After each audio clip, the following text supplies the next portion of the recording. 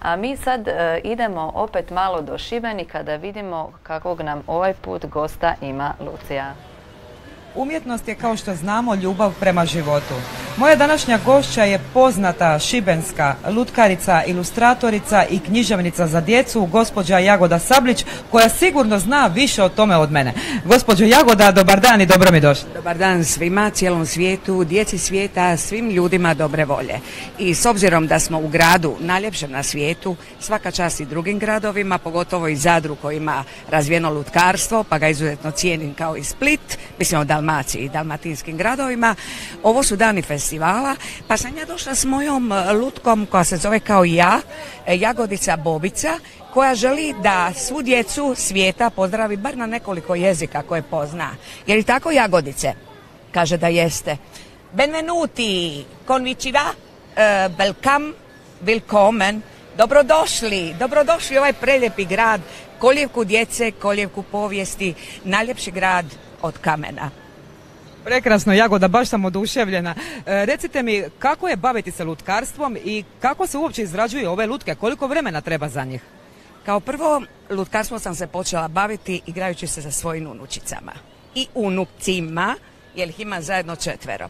E, znači, najljepši posao na svijetu su upravo učiteljice, odgajateljice, odgajatelji, profesori, kao i moj muž koji je u mirovini, koji trpi sve ove moje ludosti i sigurno da taj najljepši posao na svijetu, kao da sam ja bila određena svemirom.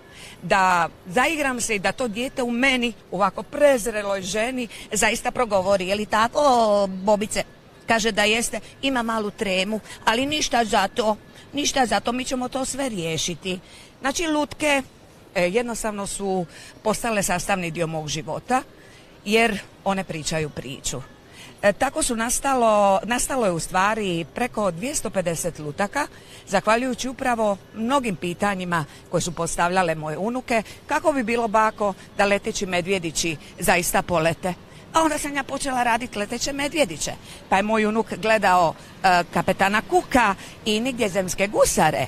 Pa je rekao, bako, bili mi mogli imati malo pozorište u kući. I tako je nastalo to malo kazalište u kući i nastale su nigdje zemski gusari. Pa smo onda gledali opet pčelicu Maju, vrijednu pčelicu, pa su oni rekli, bako, ti stalno nešto zujiš, ali i nešto radiš.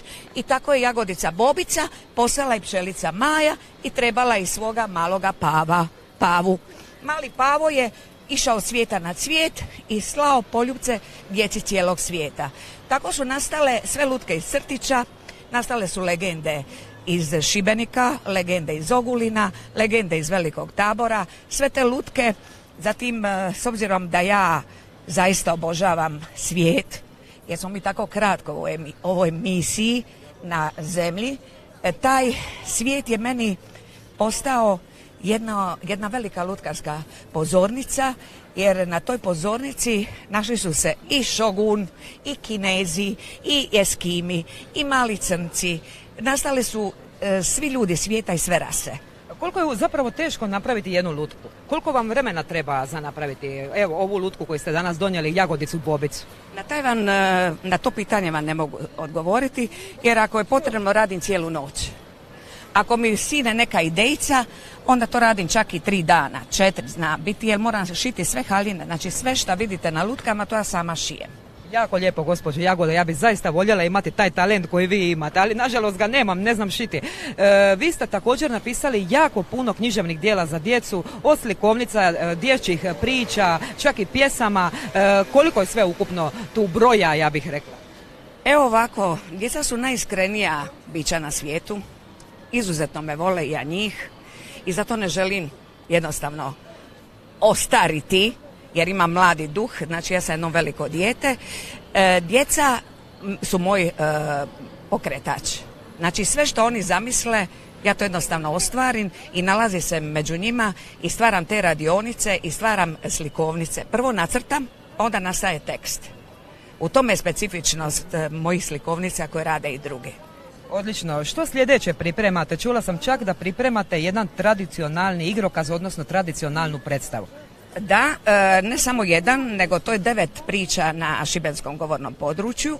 Zahvaljujući mom pokojnom profesoru Ivi Brešanu, zahvaljujući izuzetnom pokojnom glumcu to je gospodin Matić, koji su zvali Šibenčanin. Oni su meni jednostavno rekli, Jagodo, počni pisati i tako je nastalo devet dramskih dijela, a sad je to e, štorija o Kati i Mari. O čemu se radi u toj štori? Dajte, samo ukratko nam ispričajte. U stvari to je jedna emocionalna priča o ljudima koji se karaju, koji se kontraštavaju, a koji su puni empatije i ljubavi jedni prema drugima i u određenim trenucima pokazuju u stvari svoje osjećaje i tu ljubav koja je neraskidiva čak do smrti. Odlično, gospođo Jagoda, hvala vam lijepa na ovom razgovoru. E, hvala i vama. Pozdrav djeci svijeta, dođite u najljepši grad na svijetu. Eto, dragi moji gledatelji, bila je to jedna književnica, spisateljica i lutkarica za djecu koja jednostavno obožava raditi s djecom, gospođa Jagoda Sablić, a ja se sad nažalost vraćam kod naše Katine u studio. a Lucija, pa zašto nažalost? ja tako volim kad se ovaj, ti nama javiš, a ti kažeš nažalost idem kod Katine. Dobro, dobro, još ćemo o ovome porazgovarati.